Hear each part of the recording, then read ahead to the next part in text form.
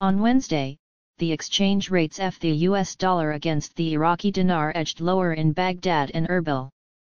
According to Shafaq news agency's survey, the dollar's rates dropped with the closure of the central Al-Kifah and Al-Harithiya stock exchanges in Baghdad, settling at 149,650 dinars for every $100, down from 149,950 dinars in the morning. The prices at currency exchange stores in Baghdad decreased, with the selling rate at 150,500 dinars for every $100, while the buying rate was 148,500 dinars. Erbil's selling price reached 149,650 dinars for every $100, and the buying price was 149,550. The Iraqi Central Bank's CBI sales of the US dollar surpassed 262 million in the currency auction on Wednesday.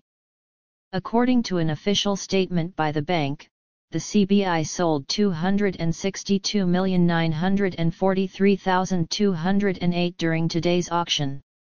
The bank covered these transactions at a base exchange rate of 1,310 IQD per dollar for documentary credits, international settlements of electronic cards, and foreign transfers, while the rate stood at 1,305 IQD per dollar for cash transactions.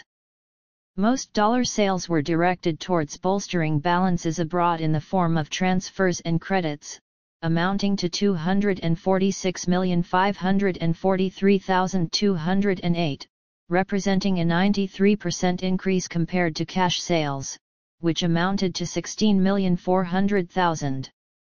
One bank purchased cash dollars, while 13 fulfilled requests to bolster balances abroad.